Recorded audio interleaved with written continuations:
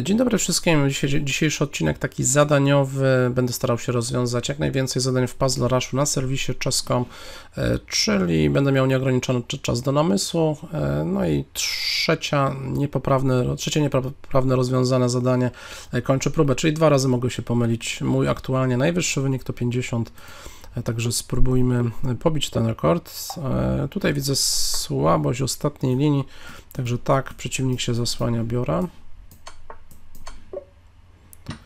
tutaj też słabość ostatniej linii. Tu jest mat w jednym. Słabość ostatniej linii. Mm, związanie. E, nie było mata, ale mogę zrobić podwójne uderzenie, czyli atak na wieżę i na króla. Albo na gońca tym przypadku. No, tu jest mat w dwóch, odchodzi, matuje na G7. Aj, dobra, dobra, dobra, żeby tu jakiegoś misklika nie było. Jest teraz, jestem czarnymi. Um, jaki był ostatni ruch? Aha, czy jest szach. Dobra. No tu zasłonić się nie mogę, no to jedyny ruch to król C8. Po tym ruchu mogę po prostu sobie stąd Wyjść? No chyba muszę stąd wyjść. Tutaj dziwne trochę to zadanie. No tutaj to znowu muszę. Muszę się wykonałem trzy ruchy, które muszę. E, tu jest tak, musi zbić i matuje. Szach. No znowu odejdę tak, żeby zaatakować dwie figury naraz. Także król F6. Jeżeli tu, to tu, to ja wezmę wieżę, a nie gońca. A jak tak, to biorę wieżę. No tutaj coś na linii G i H pachnie, także wprowadzę tutaj dwie figury, oczywiście z tempem, czyli zacznę od szacha, jeszcze jeden szach i mat.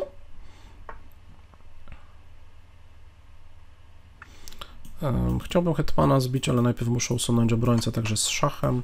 Biorę hetmana. Mat na ostatniej linii, wieża bije. Wieża bije C1.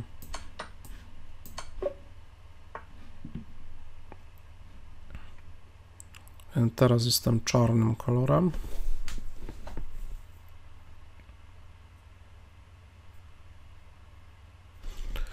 Hetman podbiciem. Jeżeli ja zbiję tak, on zbije tak, to ja, zbi to ja zbiję gońcem, czyli dobrze. Jeżeli ja zbiję tak, on mi zbije tak, to ja zbiję hetmanem też dobrze.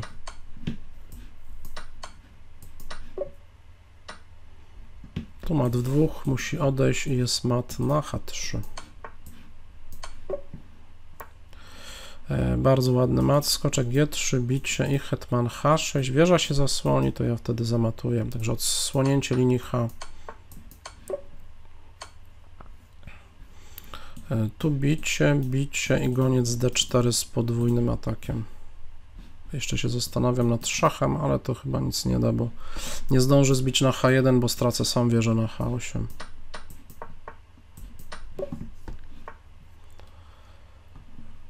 Czarny kolor. Mm, ja wezmę, on wezmę, ja zrobię szacha, on się zasłoni, ja zrobię szacha, on się zasłoni i ja zbiję na E5. A, tak, zasłoni, no to wezmę. I wezmę. Dobra, 18 dobrze. E, mam do wyboru wziąć skoczka, czy tutaj. Jak tu zrobię, bo przy królu tu szach, ten ruch, no to ja tutaj, on musi i ja matuję na F2.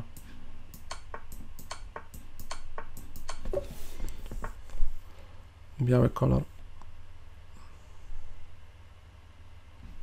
Co, skoczek E4, nie? Skoczek G4.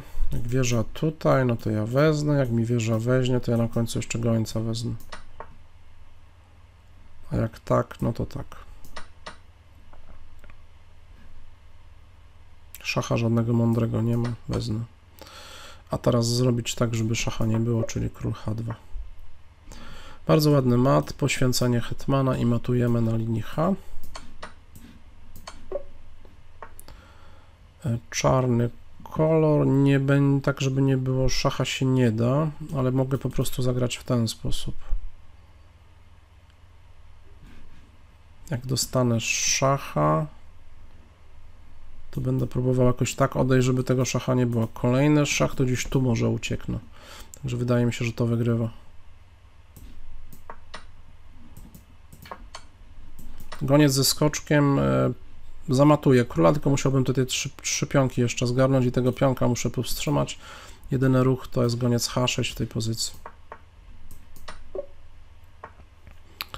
Czarno na ruchu, wprowadzam kolejną figurę do ataku. Jeżeli tu, to tu, tu i mat. Jeżeli tu i tu, no to ja na to pole.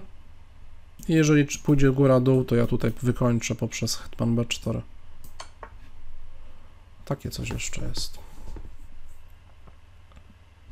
A to nic nie zmienia, bo jeżeli nawet król podejdzie, to sobie zagram chociażby takie posunięcia.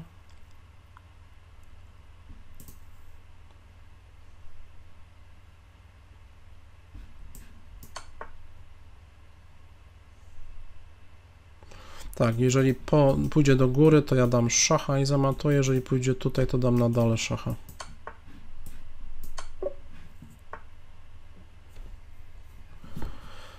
Tu się narzuca takie podchwytliwe zadanie, ale trzeba oczywiście zbić z tej strony, zasłoni się i jest mat.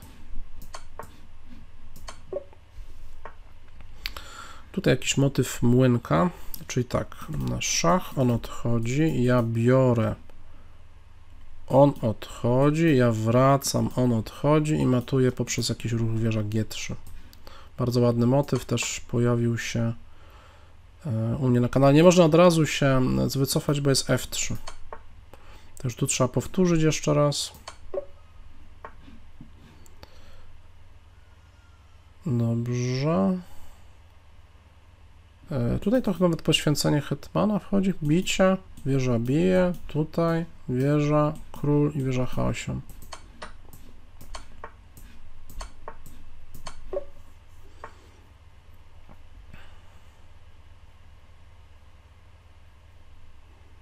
Czasami tego hetmana nie złapię. Potem nie złapię.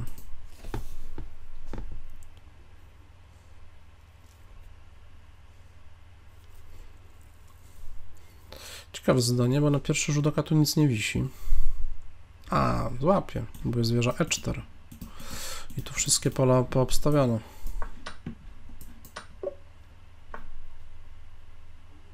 Podobnie tutaj, hetman pozabierana. Trzeba mu zabrać po prostu te białe pola. Także goniec C4 nie ma dokąd pójść. No zbić nie mogę, bo mi ucieknie, także muszę tak. No tutaj też muszę odbić.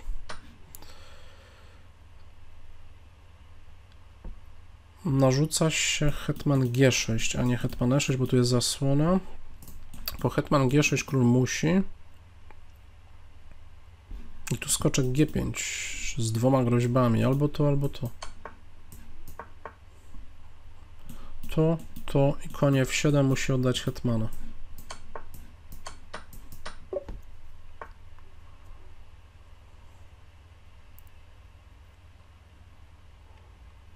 To fajne zadanie. Jeżeli wieża zbije, pionek zbije, wieża zbije, to gdzieś tam hetman odejdzie i mam mata na h4. Albo po prostu hetman będzie musiał się tu oddać.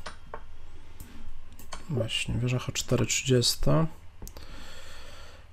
Czy czasem taki ruch domykający c3 tutaj nie wygrywa? Po c3 grozi mat i grozi wzięcie hetmana i nie widzę za bardzo obrony.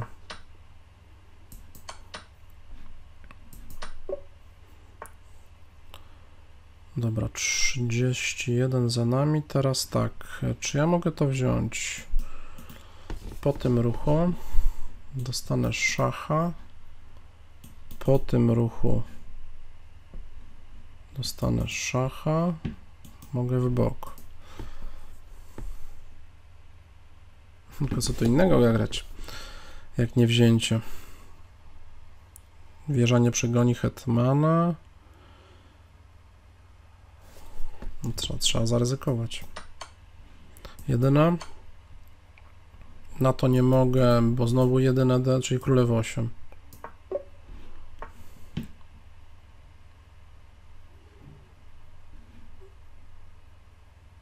Wieża F4 mi tak tutaj przyszła do głowy w pierwszym, w pierwszym ruchu. Po zbiciu jest mat. Tylko, że po wieży F4 jest skoczek F4.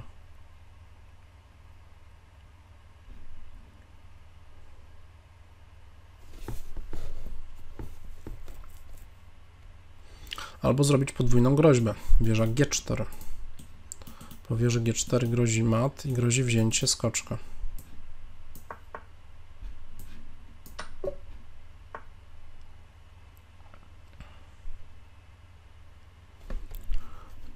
Jeżeli ja odejdę gdziekolwiek, to jest też taki paskudny atak z odsłony. Goniec się wraca, także nie mogę odejść gdziekolwiek. Muszę się wrócić na goniec F4. E, to wówczas nie ma przeciwnik dobrej zasłony. Pionkówka. Dwa oddalone pionki powinny bez problemu wygrać. Nie mogę na pewno królem, bo tu przeciwnik wtargnie. Także wydaje mi się, że jak ja pójdę, moment, jak ja pójdę, on pójdzie, ja pójdę, on pójdzie, no to ja pójdę tym pionem. Jak on teraz dojdzie do tego, to ja idę tutaj i on zbić nie może, bo ja idę tutaj.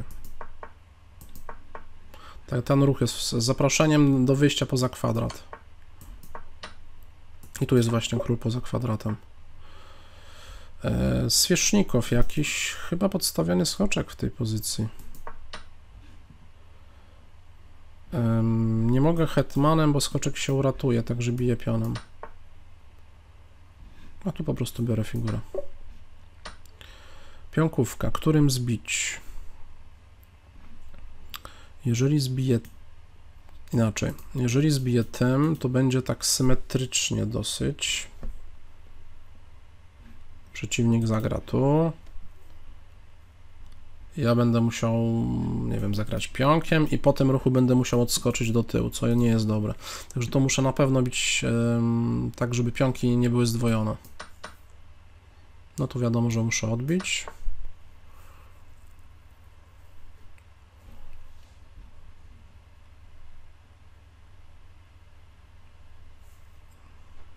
Jeżeli przepchnę, to to, ja to,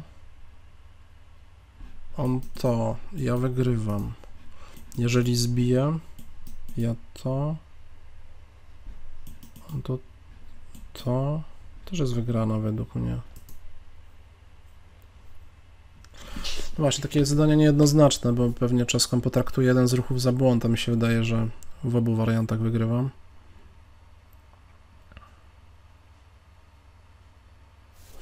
Ale zaraz, jeżeli zagram tak, tak i tak, to on ma jeszcze takie posunięcie. Czyli muszę bić.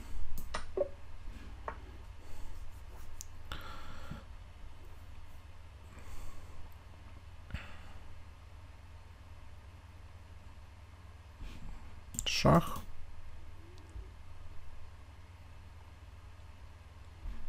Musi jakoś odejść, żeby tego bronić. Jeżeli pójdzie tu, no to szach. Biorę, biorę gońca za chwilę.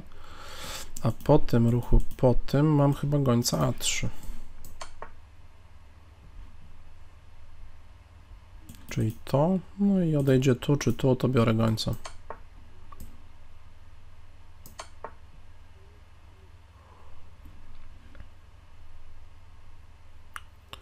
Mogę zrobić jeszcze jednego szacha. Czyli skoczek tu, tu.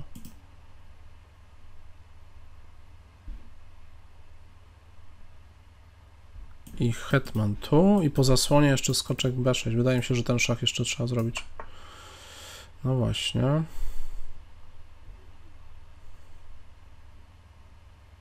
A, i tu mam w ogóle taki ruch. Od razu szach jest. Skoczek na b6.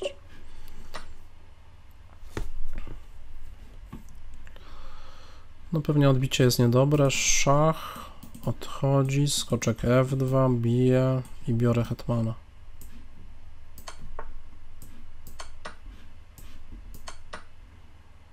Tu jakiegoś mata nie ma. Jak nie ma mata, to mogę brać wieżę. E, Dobra, E, co dalej w tej sytuacji? E, Ja jestem na ruchu, no to co, muszę tutaj... A, bo to mat grozi w ogóle. Hmm. Jakieś B6 chyba jest jedynym ruchem, żeby mata nie dostać.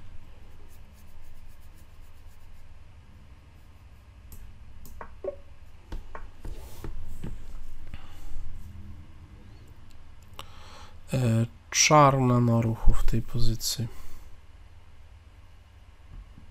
No co, pewnie tak, tak, bicie, bicie i wzięcie figurę. Jeżeli przeciwnik podejdzie, to jakieś wzięcie piona ewentualnie na B5. No to muszę. Mhm. Albo może jakieś odejście tym gońcem. Tu, to tu.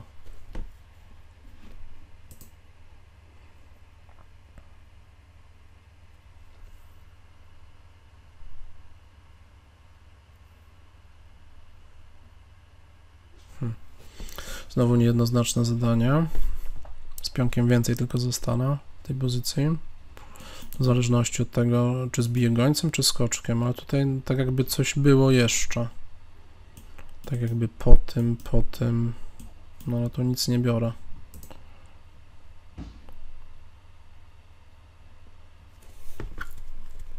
Chyba, że takie coś. On może dać szacha, nie musi też dać szacha. Ja się zasłaniam, on to bierze. A to znowu któraś z figur spada.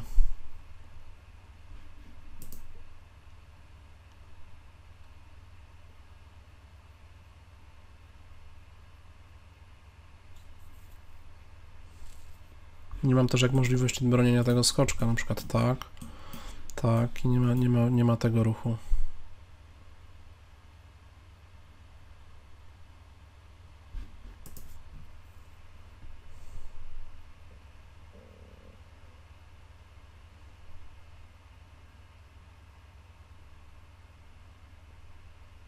No ja bym zostawił gońca w tej pozycji. Chociaż z drugiej strony różnobarwne gońce będą. To. To. to.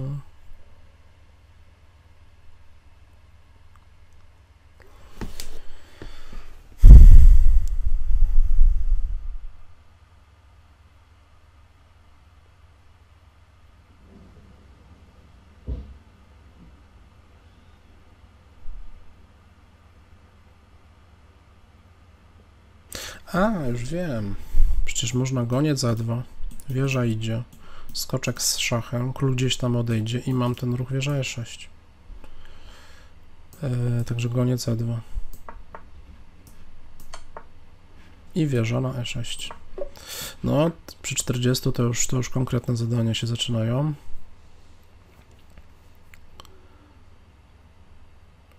Ok, tutaj jakiś hetman, hetman F2. To Goniec D4.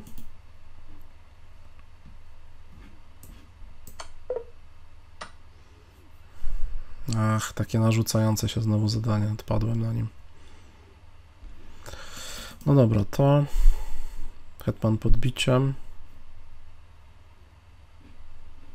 To wieża bije.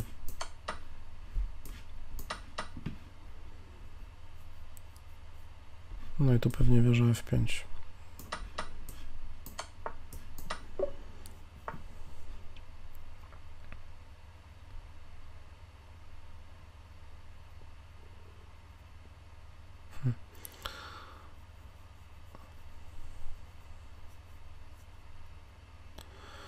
Wziąć pionka z szachem, to tak oczywiste się wydaje. Hetman B7 też wygląda ciekawie. Hetman B7.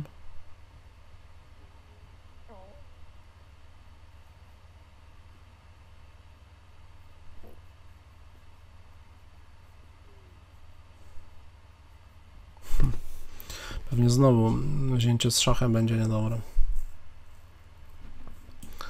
To G6 albo wróci hetman b7.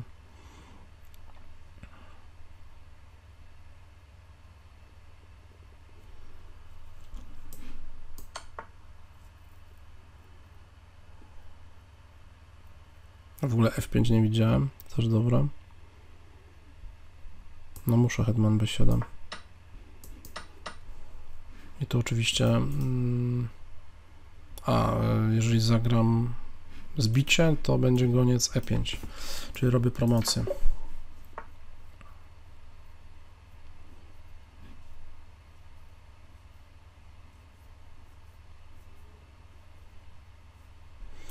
Po biciu jest to. Także wydaje się, że lepsze byłoby wieża bije.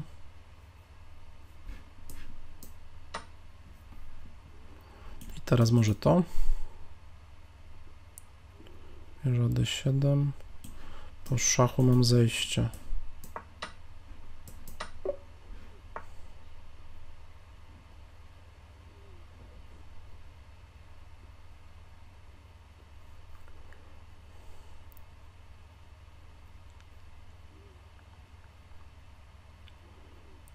Mm, to fajnie wygląda. Goniec G7 to i hetman E5.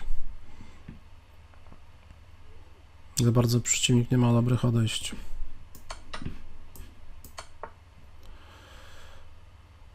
Z szachem to D6. To może jednak wezmę sobie tego.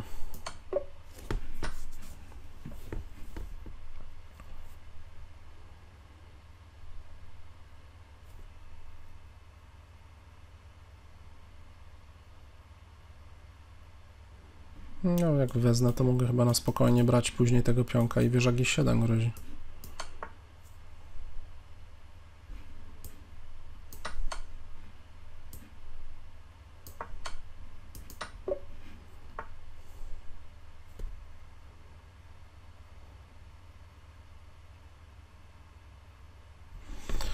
Mm, jeżeli wezmę, to jakiś goniec G5, także coś muszę tu chyba z hetmanem zrobić na początek. Ale mogę zagrać tak i pogoniec G5. A, tylko że potem jest szach. Myślałem, że to na F7 coś zrobię.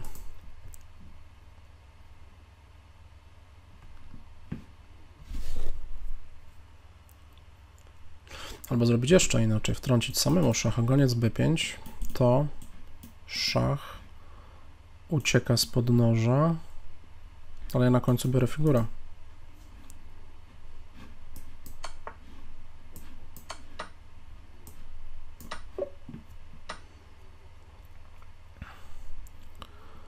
Czarne na ruchu.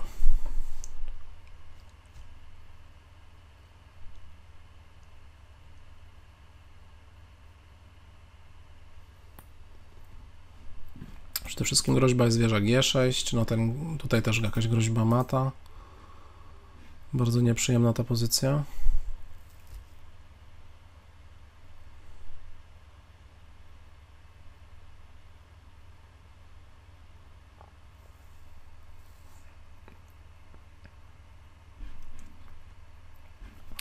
Wieża F8, goniec bije. Szach. Nie mam szacha. Mat, bardzo tutaj trudna pozycja dla króla.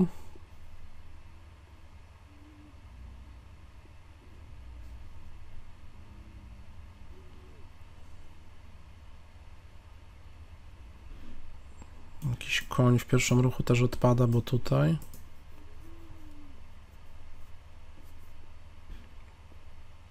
Bicie, goniec bije.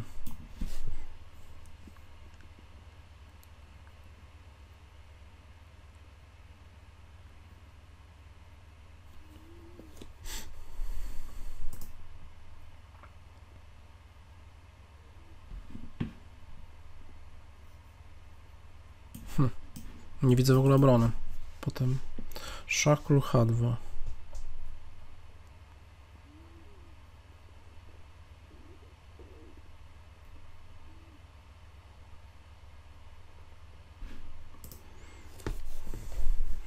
Chyba trzeba zbić w pierwszym ruchu, tylko jak, jak później bronić tutaj to pole G7?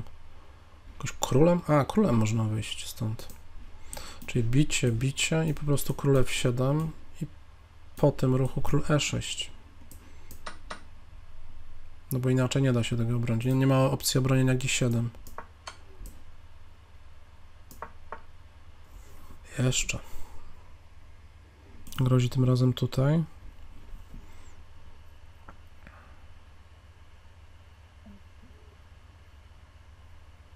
Może tutaj po prostu trzeba schować się.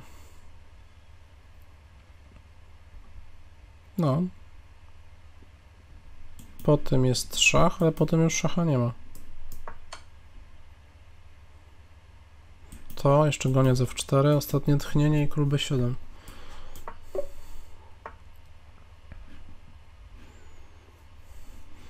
Nie mogę hetman h6, bo jest bicie na e1. To na pewno. Ja tak, tak. I szach. Tak. Jeżeli pójdzie, to biorę wieżę.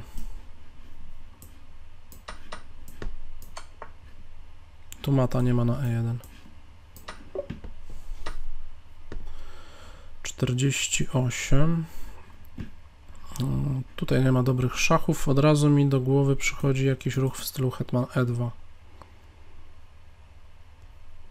On się zasłania i wieża D1 z wygraną.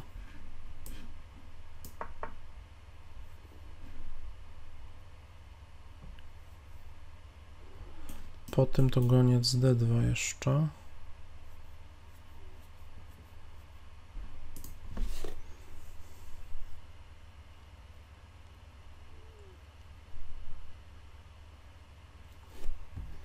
No chyba tak muszę, nie?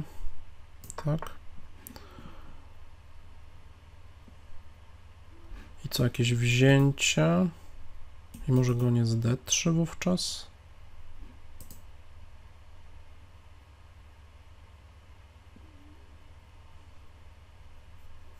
Nie, po prostu figurę tu najlepiej wziąć. E, hetmanem.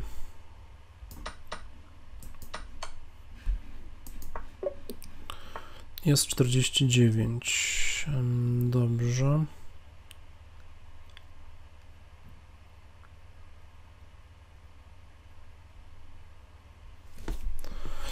Końcówka ciężko figurowa. Słabe F7. Jeżeli ja tak, to on tak.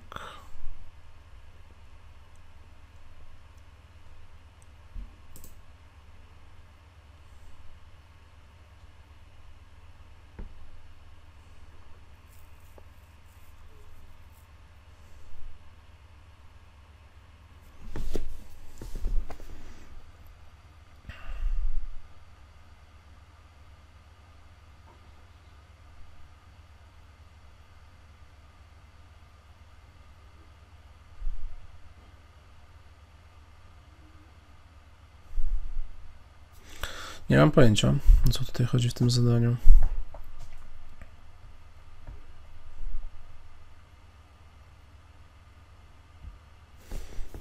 Że to wydaje się dobre, nie? Że potem on musi się wycofać e, wieżą na f8, także to jest plus. Nie ma żadnego ruchu hetmanem, bo traci wieżę i też nie ma ruchu a na b7 może zagrać. Potem po wymianie, po wymianie, raczej końcówka ze sporą szansą na remis.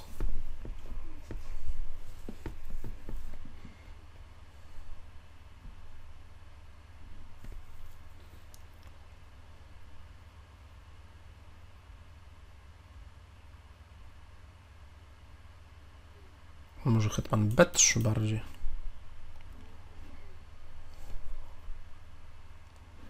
Po tym mogę pchać piona. Ewentualnie po hetman b3 jest wieża f8 i też postępu nie widzę u siebie.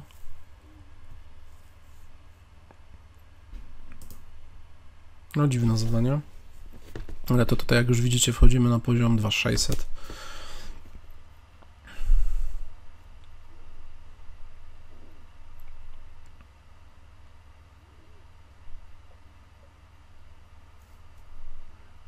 Nie mam pojęcia. Myślę, że to będzie czysty strzał. Pierwsza myśl hetman c7. Dobrze, 49.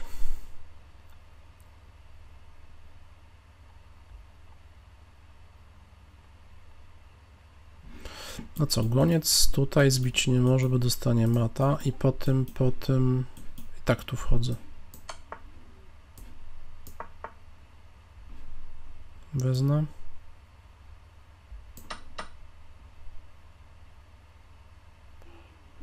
I tu chyba wieża bije, pion bije i F3.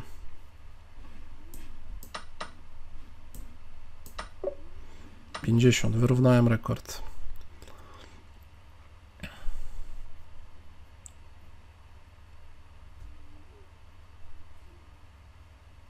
Mm, To chyba proste. Skoczek bije. Jak skoczek bije, to ja biorę figurę, a nie. Czy tak chyba muszę w tej pozycji. Bo jeżeli wieżą zbiję, no to zostanę bez figury. Jeżeli pionem zbiję, no to zostanę bez figury. Muszę skoczkiem bić.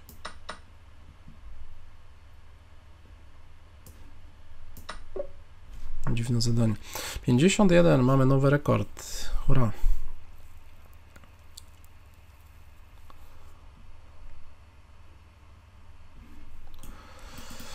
Hetman bije F2.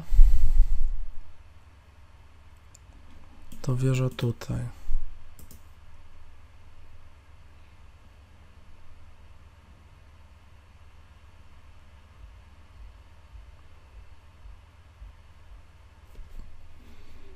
A jeżeli wieżą zbije, wieża z... to szach, król się trochę odsłoni. Może to o to chodzi? A jeszcze taki mam ruch to. On musi grać wtedy tu.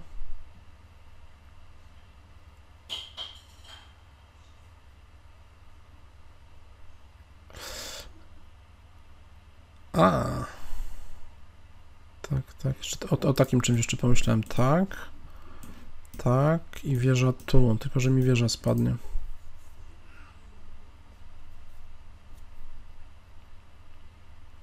Podobne zadanie do tamtego wcześniejszego, co popełniłem błąd.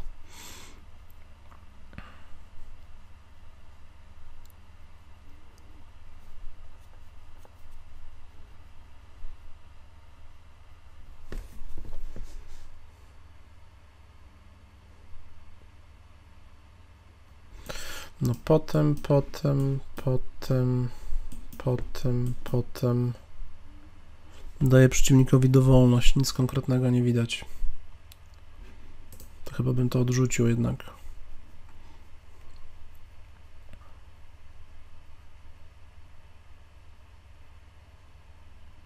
To bym zagrał. No niestety. Dobrze, przejrzyjmy w takim razie e, błędne zadania. Pierwsze zadanie, na którym się wysypałem, to to. Tu zbiłem hetmanem. Pewnie chodzi o to, żeby jednak zbić gońcem. No. Co biorę? I biorę G5. Ok. Drugie zadanie, w którym też nie wiedziałem co grać. Ja tutaj zagrałem Hetman C7, może Hetman B3 trzeba było. Ale proste.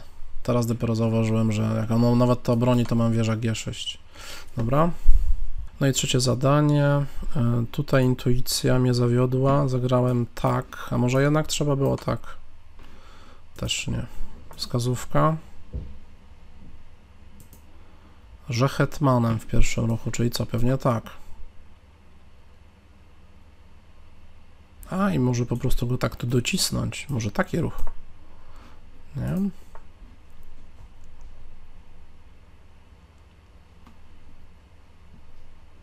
To może teraz to. Też nie. No dobra, to jeszcze jedna rzecz. Wieża A8. Myślałem, że tutaj jakieś poświęcenie. Wskazówka. Hetmanem jeszcze raz. No to pewnie szach. A, i wieża A8. A, trudne zadanie. E, Jakby hetman odszedł, to było bicie. A jak nie odejdzie, to ten. Dobrze, także kolejny raz e, rekord pobity, tym razem o 1. E, Nie pamiętam, który to tyczkarz poprawiał rekord świata o 1 cm, zgarniając e, kasę za, za każdy nowy rekord świata, mimo że miał szansę od razu pobić o kilka centymetrów. Ja oczywiście celowo tutaj tego nie robię. Tu już duże opory na tych zadaniach 2751. To na razie mój maks. Zobaczymy, co będzie w kolejnych nagraniach. Dziękuję za uwagę. Do zobaczenia. Trzymajcie się. Cześć.